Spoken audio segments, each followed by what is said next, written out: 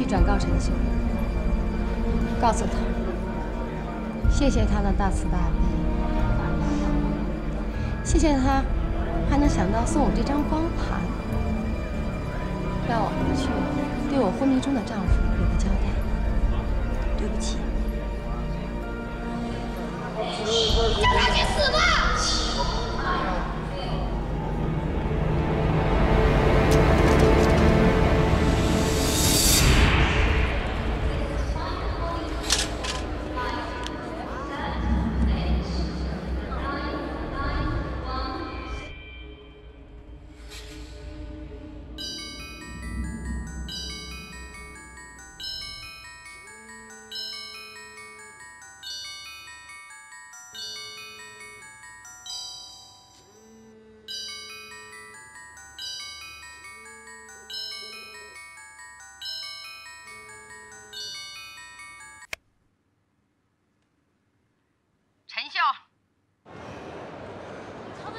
我诅咒你！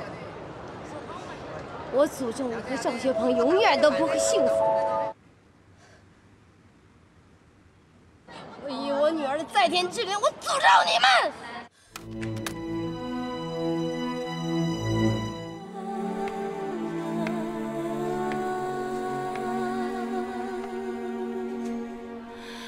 小梅，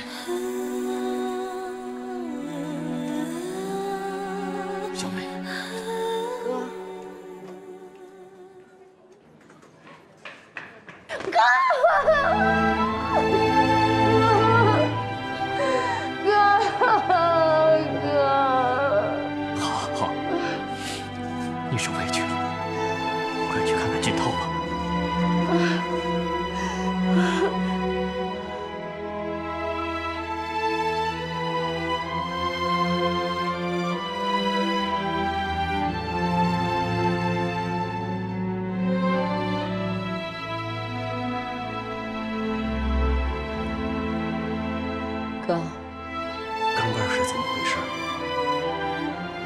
说好了，怎么没来呀？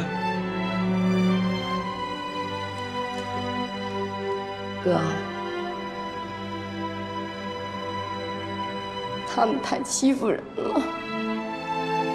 我都已经把机票全部都买好了，我在机场等他。结果，陈秀居然托一个朋友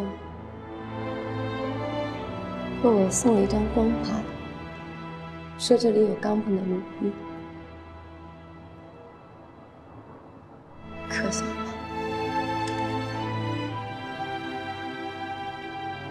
这是陈秀做的事吗？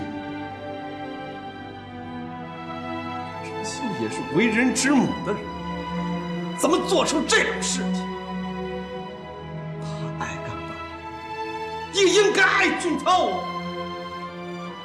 这这是人做的，简直是畜生都不如，气死我了！你消消气，哥。哥，你从来都没发脾气的。哥，是我不好，是我不好。谁让我摊上这么一个老公？从小长大，哥哥都一直为我担心，为我受累，直到今天，我也没让哥哥伤心。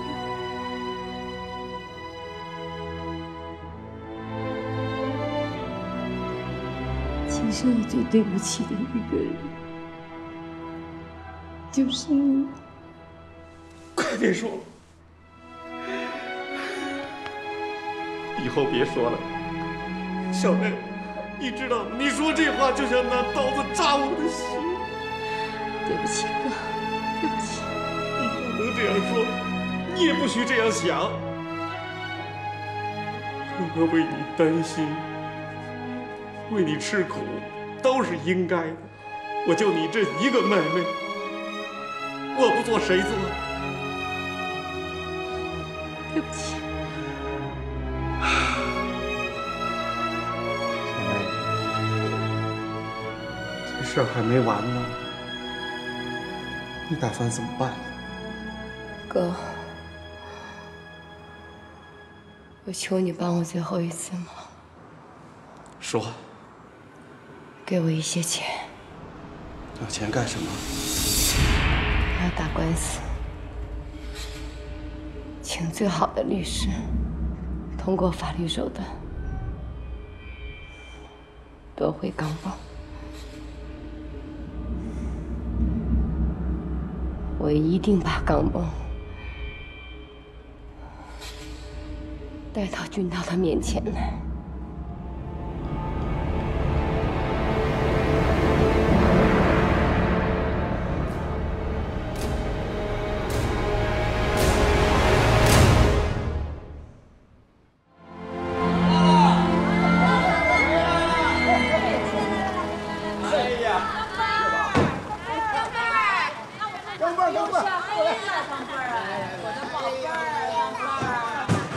玩猫吗？还好吗？想我吗？是吧？如果那个云南花卉集锦的，真是太好了爸，您是不知道，他又不是嫌那个一盆花那么大，全全给你搬回来了。哦，哦，对了，妈妈，你看看，这是我跟徐鹏帮你挑的衣服，给我的。啊，哇塞！哎呀，不会吧？太花哨了，太花哨。不花哨，不花哨，不花哨的，现在流行这个。你看，哦，还有项链。我合适吗？合适的。那我马上就换，晚上吃晚饭穿得去。好，好，好，好，好看，晚上咱们去哪吃啊？可以看。江景，让学鹏请客，没问题。棒棒来，走，陈秀。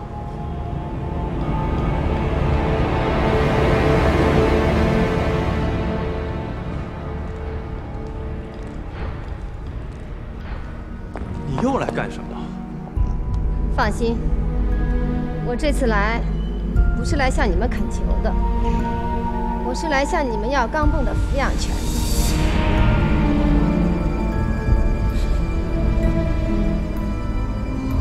什么抚养权？因为钢镚是我们王家的骨肉，所以他的抚养权应该归属于我们家。秀是钢镚的亲生母亲，凭什么你说归你就归你呢？你为什么要这么做呀？我为什么不可以这么做？陈秀，我告诉你，我一定会把钢镚夺回来。叶佳佳，我也告诉你，我不会让你把钢镚从秀乐身边夺走的。好啊，那咱们就公堂上见吧。来，见见我的律师。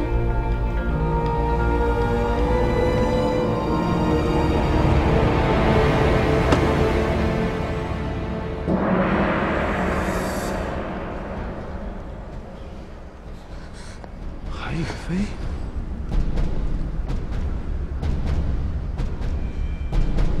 我是叶佳佳女士的代理律师，我叫韩宇飞。真的是太可笑了，太有意思了。我今天来就是打个招呼，以后还免不了在一起接触。看来你们刚从外面回来，那我就不打扰了。告辞。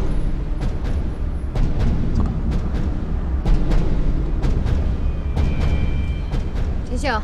抓紧时间跟儿子相处吧，因为很快钢镚就归我们了。